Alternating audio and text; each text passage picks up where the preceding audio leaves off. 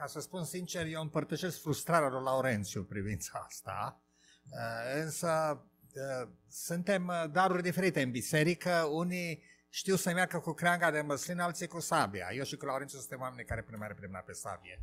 Alții merg cu, cu ramura de măslin să o întindă. Așa că cred că există și, să nu zic diplomație, că nu e cuvântul potrivit, da?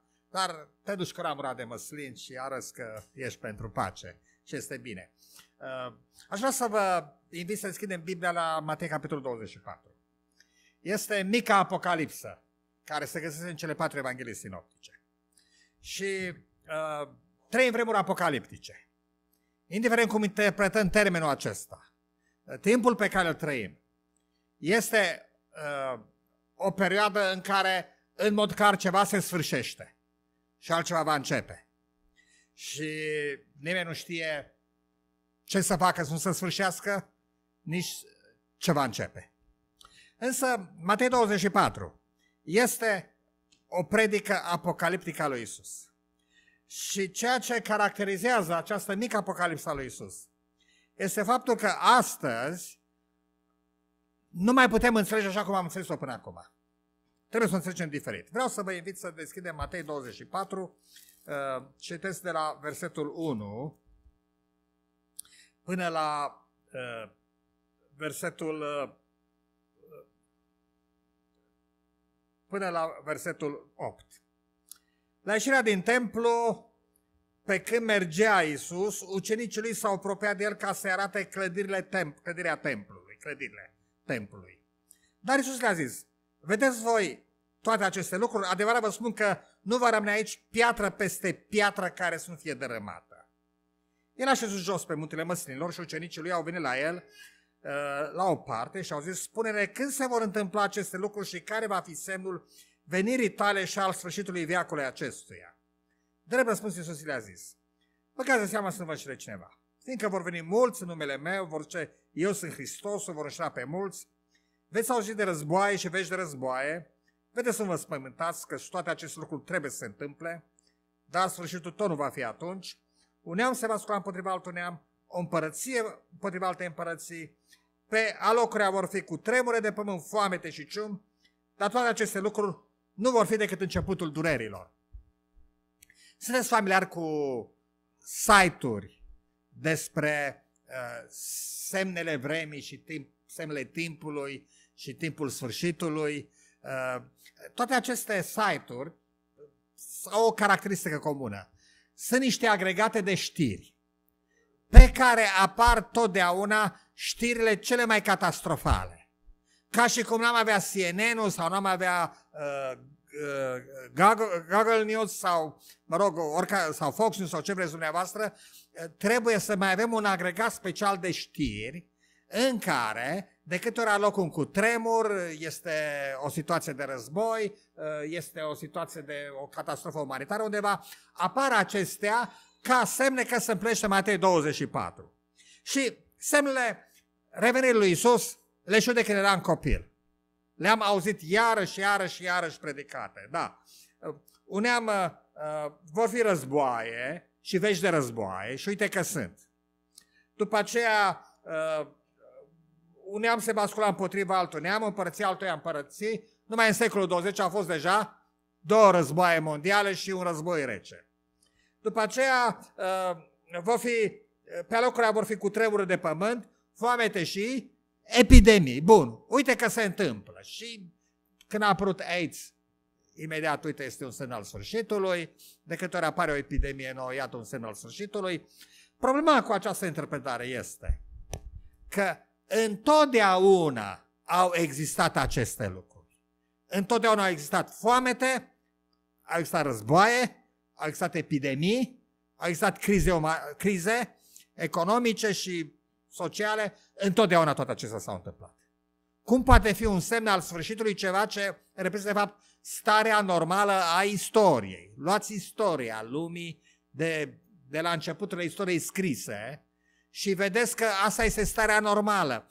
Mergeți înainte de istoria scrisă, mergeți în preistorie, arheologie și vedem că istoria speciei noastre a fost o istorie de violență, de epidemii, de catastrofe, asta este lumea în care trăim. Atunci, în ce sens toate acestea un semn al sfârșitului? Un aspect foarte interesant este că toate aceste știri au devenit foarte redundante în timpul nostru. De ce? Pentru că, într-adevăr, este ceva apocaliptic în timpul nostru. Dar apocalipsa în timpul nostru constă în faptul că tocmai aceste semne nu mai sunt valabile. Și vreau să vă dau un exemplu. Foamete. Mor oameni de foame. Totdeauna au murit. Care este cauza principală a morții în timpul nostru? Foametea sau obezitatea? Sau prea multă mâncare? Pentru prima oară în istoria speciei noastre există mai mulți oameni care mor fiindcă mănâncă prea mult decât cei care mor fiindcă nu au ce mânca. De fapt, mi se pare că foamea este o problemă rezolvată la nivel mondial la data aceasta. Problema nerezolvată este că mâncăm prea mult și murim de prea multă mâncare. Uh, hai să vorbim despre războaie. Pentru prima dată în istoria lumii, trebuie să recunoaștem, trei, este numărul conflictelor militare s-a împuținat. Și trăim într-un context în care problemele se rezolvă de obicei prin litigații, prin sancțiuni, eventual mai puțin prin război. Dar în același timp este, avem probleme noi pe care nu le cunoșteam înainte. Pericolul în timpul nostru nu vede de la, din faptul că un neam se ridică împotriva altui neam și o împărăție împotriva alte împărății. Pericolul vine de la faptul că avem politicieni care au butonul pe, degetul pe buton și ne temem, mai ales ne temem, ca nu cumva oameni religioși să aibă degetul pe buton. Pentru că am avut un război rece în care a fost o, un imperiu ateist împotriva unui imperiu secular cu, de cultură creștină, dar lucrurile s-au, s-au rezolvat destul de elegant. Însă ne temem ca nu cumva cei care cred în Dumnezeu și în Apocalipsa să aibă degetul pe buton și atunci va fi catastrofa. Uh, vorbim despre cutremure? Uh, dați-vă să vă amintesc că lucrul de care ne temem astăzi nu mai sunt catastrofele naturale, sunt catastrofe pe care omul le provoacă natura. Ne temem de, un, să zic, un, un, un, un, un război nuclear ar fi mult mai periculos decât orice cutremur. Da? Și este mai probabil decât oricând.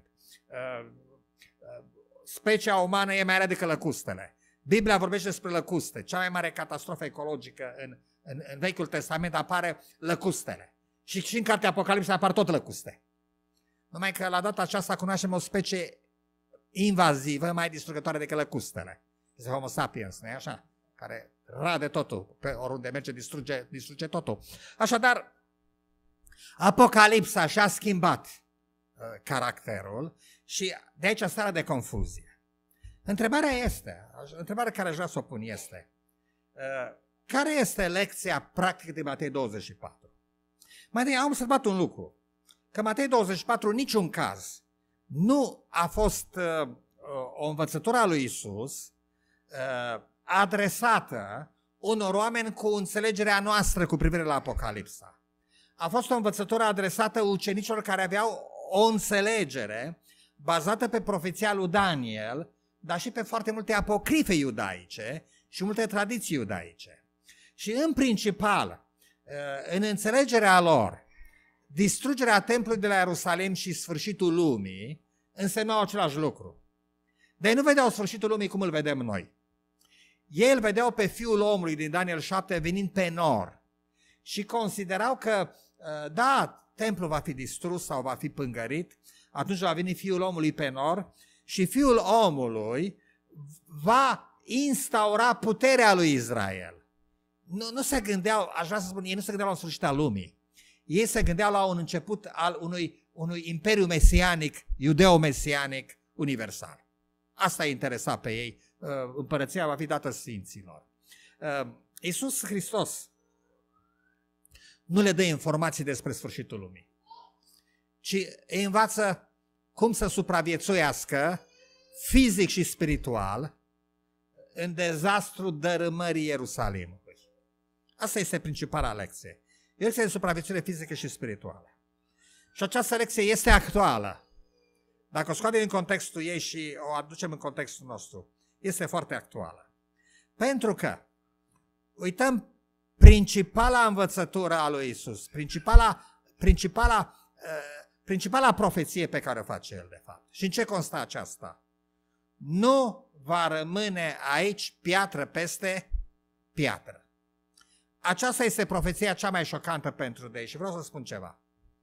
Pentru iudeu, în secolul 1, dacă îi spuneai că lumea va fi distrusă, lumea va fi distrusă, putea să accepte. Dacă îi spuneai că templul va fi dărâmat, asta nu putea să accepte. Era de neconceput. Uh, ceea ce îi șochează pe din cauza asta spune, spune-ne ca, când se vor întâmpla aceste lucruri și care va fi semnul sfârșitului viacului, pentru că se gândesc, pe dacă templul dispare, înseamnă că se dărâmă lumea. Nu va mai exista lume după aceea. Și îmi pare rău să o spun, adică îmi pare bine să o spun, a mai existat lume după dărâmarea Ierusalimului și probabil că lumea va continua să existe după dărâmarea multor lucruri pe care noi nu le concepem că vor fi dărâmate. Vreau să spun o întrebare. Câți dintre dumneavoastră concepeți ideea că biserica noastră putea să dispară? E o întrebare, aș vrea să spun. Eu înțeleg că în momentul acesta am văzut o mână ridicată. Uh, uh, cred că alte mâini se ridică, dar n-au, n-au curajul să ridice, se ridică în secret. Uite, am ridicat o mână. Bun. Aș vrea să spun că mulți nu concep ideea sau o concep în altfel. Când se va întâmpla, înseamnă că va veni sfârșitul. Atunci chiar să sfârșește cu toate, frate. Și de multe ori aud pe celălalt, frate, să văd semnele vremii. De ce să văd semnele vremii? Fiindcă bisericile rămân goale. Și? Păi dacă biserica rămâne goală, înseamnă că vine sfârșitul. O veste, o veste neplăcută.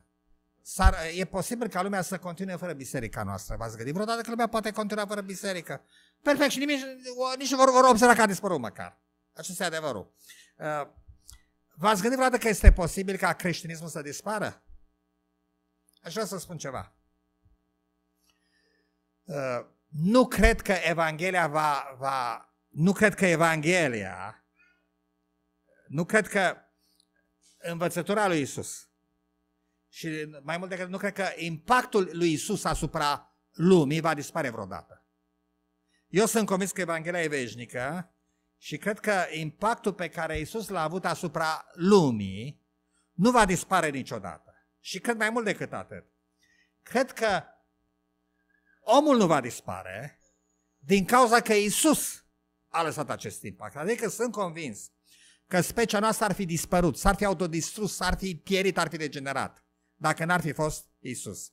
Dar în același timp cred că faptul că Isus a întrupat este o garanție că lumea va continua. Însă, dacă mă întrebați despre creștinism ca sistem eclesiastic, ca structură de biserică, eh, dacă vreți ca dogmă, aș vrea să, să aplic cuvintele lui Isus în timpul nostru.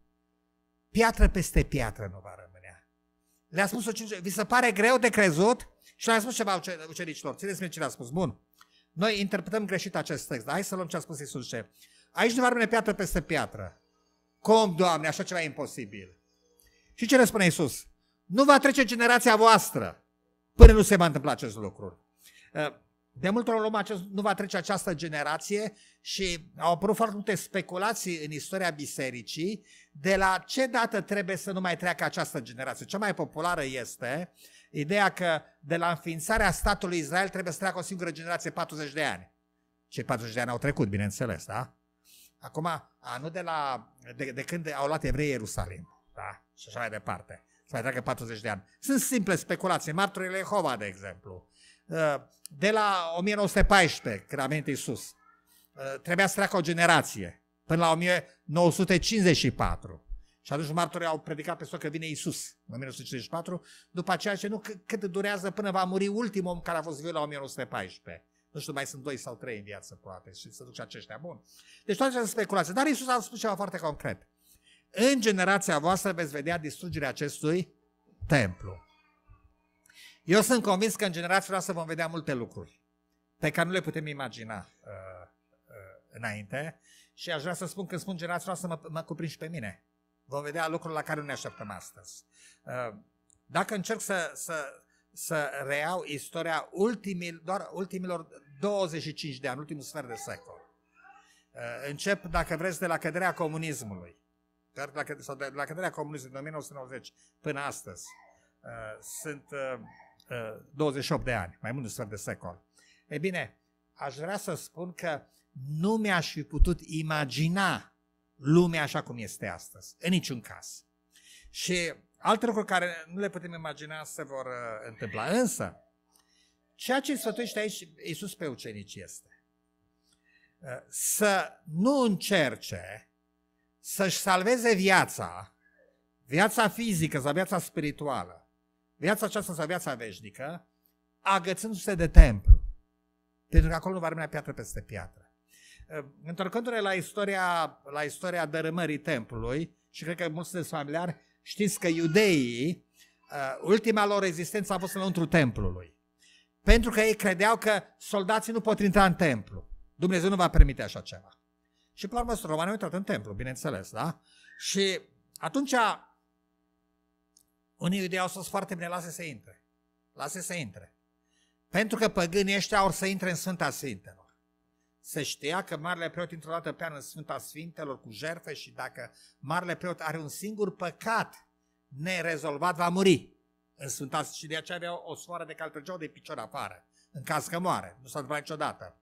Dar era această anxietate că Marele Preot va muri dacă pocăința poporului nu primită. În niciun caz se știa că a, odată a încercat să tămâieze un împărat și s-a umplut fața de lepră, da? Deci, dacă păgânii ăștia vor intra în Sfânta Sfintelor, vă dați seama ce se va întâmpla. Și romanii au intrat în Sfânta Sfintelor. Și au spus că acolo nu e nimica. Și că Dumnezeul evreu este o ficțiune. Nu există nimic acolo, nicio șechina, nimic. E o ficțiune, e o minciună. Și unul din motivele pentru care românii au dărâmat templu, deși Titus a încercat să împiedice să dărâme templu, a fost pentru că ei au considerat că, uh, când au găsit, văzut că nu nimic în Sfânta Sfintelor, nu au intrat cu frică. Deci, până la urmă, un roman și-a avut curaj și a dat la perdeaua la o parte și s-a uitat. Și hai să vedeți, vedeți ce e aici, e doar un bolovan nicio lumină care te mistuiește, au considerat că toată religia iudeilor este o minciună și așa a început un val de antisemitism în Imperiul Roman, consideră că toată religia lor e o minciună, fără să înțeleagă natura abstractă a teologiei iudaice, bineînțeles. Însă, ce le spune Iisus? Nu vă puneți speranța în Sfânta Sfintelor, în ziua ispășirii, în preoți, în serviciul de la templu, în faptul că Israel este popor ales, nu vă puneți. Aici nu va rămâne piatră peste piatră atunci în ce să ne punem speranța? Asta este întrebarea. Și interesant că Iisus merge mai departe și uh, ce le spune? Haideți să, să vedem. Uh, atunci vă vor da să fiți chinuiți și vă vor omorâ și veți fi urâți de toate neamurile pentru numele meu. Atunci mulți vor cătea, se vor vinde unii pe alții și se vor urâ unii pe alții. Uh, Iisus uh, uh, nu răspunde la întrebarea care era în mintea lor, da? Deci, uh, așa cum am spus, această, uh, această conversație între sus și ucenici are loc în contextul profeției lui Daniel. Dar profeția lui Daniel nu se împlinise și au apărut alte, alte speculații, alte apocrife între timp, care uh, aveau ca scop să arate cum se va împlini profeția lui Daniel, adică cine va veni să dărâme templul, asta este ideea. Cine va veni în timpul sfârșitului împotriva templului, Gog și Magog, Armagedonul și așa mai departe. Bun. Și asta era și curiozitatea ucenicilor. Cine va veni împotriva templului? Cine va veni să-l dărâme? Romanii sau poate, știu, parții sau altă putere? Anticristul? Iisus nu le spune, spune, a, veți avea altă problemă. Uh, mulți uh, se vor vinde unii pe alții, se vor urâ unii pe alții. Iisus nu le atrage atenție la un dușman exterior, ci la un dușman interior și acesta totdeauna există. Doar acest dușman ești chiar tu însuți. Dacă, pentru că aici uh, vom vedea mai departe acest dușman și poți fi tu însuți. Nu știu câți dintre dumneavoastră ați avut uh, curiozitatea să citiți cartea uh, Biserica în Pustia Roșie. Sunt două volume, deci, da? Cartea interesantă, pot să spun. Deci, dar i-am comunicat prietenul meu, autorul acestei cărți, că nu sunt de acord cu viziunea lui. Și de ce? În cartea aceasta apare o idee biserica, poporul lui Dumnezeu, a trecut prin pustia roșie.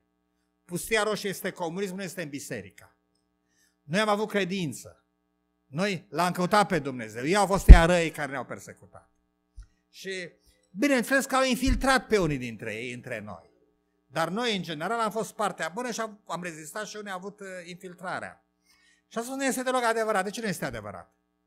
Fiindcă totul a fost ruptă pentru putere în biserică. Vânzare între frați, frații s-au urât unii pe, între, unii pe alții, s-au vândut între ei, uh, s-au luptat pentru putere. Și, și dacă mă uit în toate bisericile din România în această perioadă, este aceeași situație, de fapt. Ea a fost o permanentă luptă pentru putere, vânzare și așa mai departe. Și dușmanul nu a fost Roma păgână, să zic, ci a fost în biserică. Însă, mai departe, uh, Iisus spune așa, se vor scula proroci mincinos și vor înșela pe mulți. Bun. Iarăși vreau să spun că uh, nu simt nevoia unei interpretări clasice a profeției aici. Adică să mă uit, să mă uit la Jim Jones, de exemplu, la David Koresh, la cine vreți dumneavoastră. Sau să mai iau și un guru din India, poate, uh, un New Ager ceva, și să zic, uite că se ridică profeți mincinoși și se plăște profeția. Uh, problema este că Isus i avertizează aici pe, pe, pe ucenici să nu se crede în templu, dar să nu se crede nici în profeți. Adică, uh, ce este acela un profet mincinos până la urmă? Uh, ce este un profet? Un profet nu este cineva care prevede viitorul. Un profet este cineva care spune adevărul. Și aici este cel mai mare paradox. Ce se întâmplă când în locul în care te aștept să spun adevărul, este minciuna. Și vreau să spun că situația asta este universală. Pe, pe timpul lui Isus, trebuie să recunoaștem, nu exista mass media. Existau profeții, da? Deci era cineva care vorbea în piață, dar nu exista uh, această uh, industrie a știrilor din timpul nostru. Uh, în timpul nostru, Uh, avem un acces la informație cum niciodată în, în, în istorie lumea nu și-a putut imagina că o să aibă. Uh, v-am spus că nu puteam imagina lumea că va ajunge așa cum este. Țin minte, în uh, anii 90, la începutul anilor 90, în București, mă duceam la British Council, unde eram abonat, și citeam The Economist, citeam Times, uh, Newsweek, încercam să fiu informat. Uh, citeam analize pe, în, scrise în America sau în Anglia și, mă rog, mi se părea că sunt extraordinar de informat. Bun. Am ajuns astăzi că avem un asemenea acces la informație la vârful degetului și care este rezultatul? Care este rezultatul acestei tehnologii care ne-a adus informația la vârful degetului și în, în, în, în, în instant, în timp instant. Rezultatul este că nu mai știm ce este adevărat și ce nu este adevărat. Uh, uh, noțiunea de fake news e ceva ce, ce apare, ce a apărut în timpul nostru. Avem, uh, deci, suntem într-o situație că știm totul și nu credem nimica. Și acum avem tot felul de idei noi, tot mai multă lume crede că pământul e plat și îți vine foarte greu să crezi așa ceva. Vorbim despre, dacă luăm un alt aspect, din Matei 24, vor fi semne în sună, soare, lună și stele. Puterile celor vor fi clătinate. Bun. Ce părere aveți despre faptul că, de exemplu, un asteroid, 600 de tone, în 2023 va trece pe lângă Pământ și în uh, viitorul secol are 97% șanse să lovească Pământul. Este un fapt. Deci 97% însemnează că ne va lovi. Da? Înseamnă că sigur ne va lovi. Ne putem aștepta la asta și va fi o catastrofă teribilă. Uh, este un semn al sfârșitului. Uh, e un lucru foarte interesant. Într-un anumit sens este, dar și în ce sens este? Nu faptul că un asteroid va cădea pe Pământ. Au mai căzut și altele. Ați fost, ați fost în Arizona, acel crater, cine, nu știu câți dintre dumneavoastră, ați vizitat în Arizona craterul meteoric care este acolo. Bun. Dacă aveți, uh, treceți vreodată acolo, vizitați-l, da? Este în Arizona un crater provocat de un asteroid. Te uiți la el, cât a fost de mare, acum 10.000 de ani. Impactul a fost mai mare decât cea unei, unei, unei megabombe cu hidrogen. Așadar, au mai fost din asta și, și vor mai fi. Ceea ce e nou este faptul că pentru prima dată avem tehnologia să îl, îl deviem. Deci pentru prima dată în istorie, omul nu numai care știința să spună când va veni asteroidul și unde va cădea. Știam asta. Dar pentru prima dată avem tehnologia să îi dăm un bobârnac să-și, să smute traiectoria. Ceea ce niciodată omul n-a visat. Și tocmai aici aspectul apocaliptic. În acest timp, vreau să spun, în acest timp, prietenii mei de Facebook vor să mă convingă că pământul e plat. Și stau și mă întreb ce se întâmplă cu lumea noastră. Nu mă tem de asteroid, mă tem de altă catastrofă. Mă tem de prostia omenească, care ne va distruge pe toți. Așadar, profet mincinos, hai să mergem în biserică. Ce înseamnă profet mincinos? Însemnează pur și simplu să te afli undeva unde trebuie să spui adevărul și să minți. Și Isus ne spune, vor fi profeți mincinoși și vor înșela pe mulți. Nu e sigur să mergi cu turma. Și atunci care e soluția? Și aș vrea să vă spun, acesta este, în opinia mea, mesajul Matei 24. Care este soluția? Hai mai întâi să, să vedem soluțiile care au fost propuse. Sunt diverse soluții, da? Uh, de exemplu, fuga la munți. Spune undeva Matei 24, uh, când se, se vor spune, iată-l în pustie, nu vă duceți, da? Uh, ideea de a supraviețui într-un loc pustiu când civilizația va cade și este o mișcare de survivalist în America. Uh, nu mai spun că sunt foarte mulți creștini care rămădesc arsenale la ei în casă, pentru că spun că vor avea nevoie atunci când se va împlini Apocalipsa. Bun, care este versiunea noastră favorită? Decretul duminical, nu? În timp ce alții vorbesc despre Antichrist în diferite vorbe. Însă Isus ne spune că va exista o singură primejdie și o singură soluție. Pentru orice apocalipsă în toate timpurile, dacă este în secolul 1, dărâmarea Ierusalimului sau în timpul nostru, apocalipsa, că într-adevăr trăim o apocalipsă în timpul nostru. Care este soluția? Care este problema? Care este soluția? Răspunsul este simplu.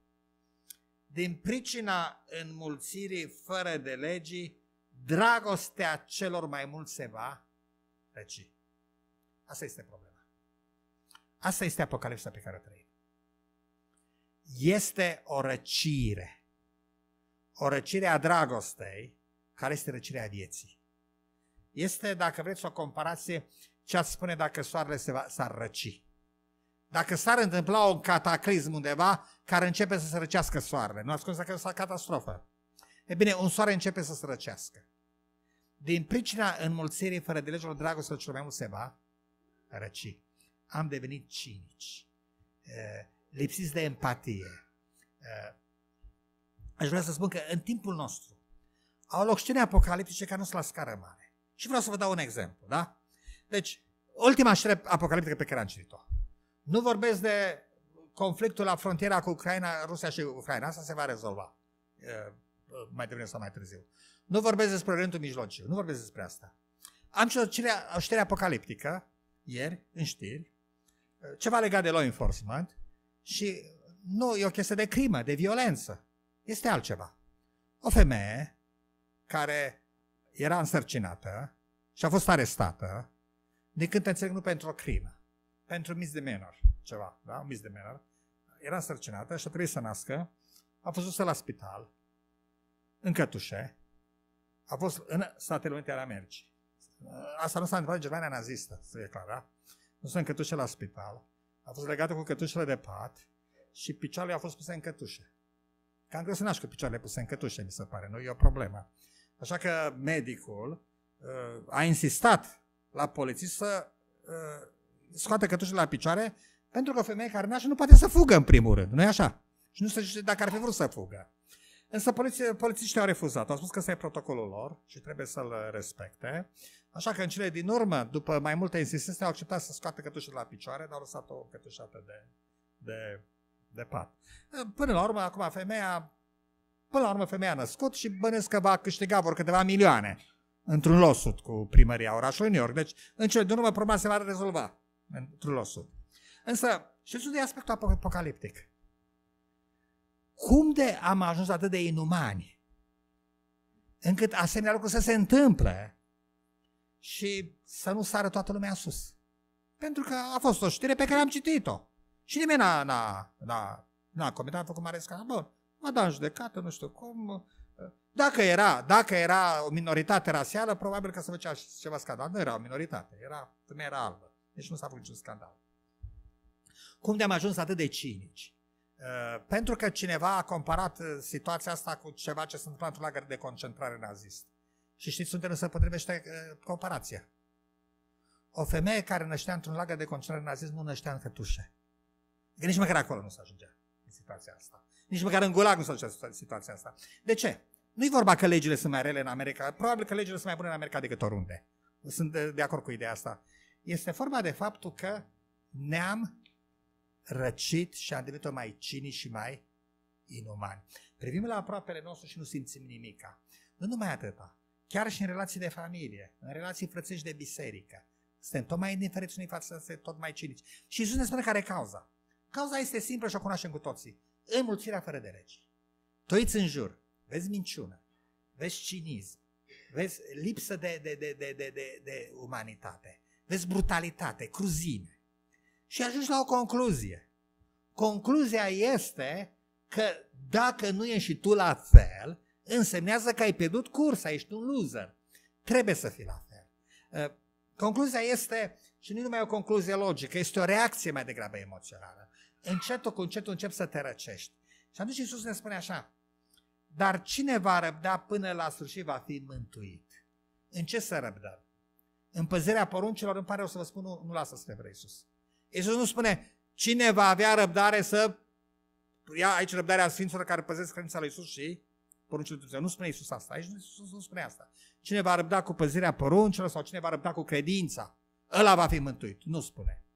Cine va răbda până la sfârșit, adică până cine nu se va lăsa tras în jos de această, de, de, de, de, de, de această universală răcire a dragostei și creșterea cinismului și a urei și a răutății. Și problema care este aici? Că biserica nu e cu nimic deosebită. De fapt, unii observă în biserică de multe ori mai multă lipsă de empatie și de simpatie și interes pentru oameni decât în, în afara bisericii. Așa că Iisus spune, rabdă. Și acest rabdă însemnează, uh, nu te, uh, nu te, uh, nu te despărți nici de frații tăi. Nici de un exemplu pe care probabil sună foarte banal. Dar uh, în viața mea am avut ocazia să țin nunți și uneori să fac counseling premarital. Zic uneori pentru că atunci mi s-a cerut. Niciodată nu ne-a spus să sunteți obligați să treceți cu mine nu știu ce știință de counseling, pentru că nu cred că trebuie să faci așa ceva, dar când mi s-a cerut am, am oferit și după aceea. Și am observat ceva. Uh, întotdeauna o căsătorie începe cu mari speranțe și cu mult entuziasm și ajunge apoi într-o fază de criză. Și după aceea, de felul cum rezolvă această criză depinde restul de obicei. Dar, în general, în foarte multe căsătorii se întâmplă că cineva constată că este un iad și uh, nu este ce să aștepta. Și totdeauna răspundeam la fel. Zic că nu e nimic special. Așa se întâmplă. Așa este normal. La mulți se întâmplă la fel. Și până la urmă, ce, care este răspunsul aici? Rabdă până la sfârșit și vei rezolva, da? Deci orice căsătorie ajunge în faza în care problemele se rezolvă. Și eu vreau să spun, cred, că la cele mai multe căsătorii toate problemele se pot rezolva. Cu o condiție. Ca cineva să rabde până la sfârșit. Când ajunge să rabde până la sfârșit, atunci a ajuns la, nu spun că e universal asta, da? Sunt situații în care nu se poate salva, dar lucrul acesta se, se, este la fel de, de real. Acum, toate astea se petrec la orice fel de relație. Între frați în biserică, între oameni în lume, uh, este nevoie să rapți până la sfârșit și atunci vei fi mântuit. Uh, Iisus uh, vorbește de mântuire aici. Și termenul este destul de general. El se adresează unor ucenici în secolul I în legătură cu distrugerea Ierusalimului. Ceva cu totul, cu totul diferit de ce avem noi astăzi. Însă, uh, dacă există o soluție și un sfat, este rabdă până la sfârșit și nu renunța la principiul iubirii. Dacă este o primejdea zilor din urmă, Primejdea aceasta nu este ce ne închipuim noi. Primejdea este absența iubirii. Și dacă este o iluzie a zilor din urmă, iluzia este religia. Iisus ne spune, piatră peste piatră nu va rămâne, va fi demolată. Va fi ceva ce nu vă așteptați acum, dar se va întâmpla. Însă, adevărata religie de fapt este iubirea. Și acela e templu care rămâne și acela nu va fi dărâmat cu condiția să raps până la sfârșit. Așa că mergem acasă și avem relațiile noastre. Încercarea asta este în fiecare zi în viața noastră. În fiecare zi suntem încercați într-o relație în care suntem ispitiți să nu mergem până la capăt, să abandonăm. Și în fiecare zi putem câștiga o victorie atunci când nu renunțăm la fratele și la sora noastră și la prietenul și prietena noastră și la uh, familia noastră, dar aș vrea să spun, când nu renunțăm nici la credința noastră în oameni și la dragostea față de oameni. Pentru că una dintre problemele uh, noastre este că ne-am separat de lume. Înțelegeți ce vreau să spun? Credem noi că ne-am separat de lume, suntem parte din lume. Dar uh, ideea că lumea asta oricum se duce în jos, nu mai e ceva ce pentru ea, noi, noi mergem undeva mai sus, nu. Uh, uh, o parte din această răbdare despre care spune Iisus este ca niciodată să nu renunți la semenii tăi, să crezi în ei, să continui să investești în ei cu dragoste. Dumnezeu să ne ajută să trecem această încercare și în orice ar consta apocalipsa pe care o trăim acum și orice ar aduce viitor și orice se va schimba, un lucru trebuie să rămână și poate să rămână dragostea. Și atunci vom fi salvați.